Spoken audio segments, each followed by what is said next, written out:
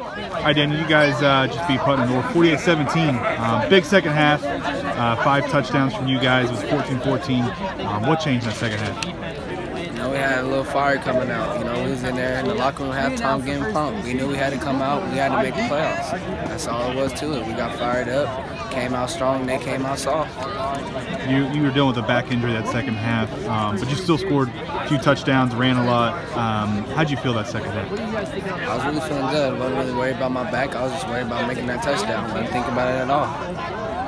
What does it mean to kind of be off the start? You know, you're 2 0 in district play, um, you're winning ball games.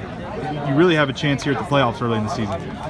It feels really good. You know, we're trying to switch up that tradition of Moore not making the playoffs, Moore being a losing team. You know, we're trying to make it to, to the playoffs this year. We're trying to change that up.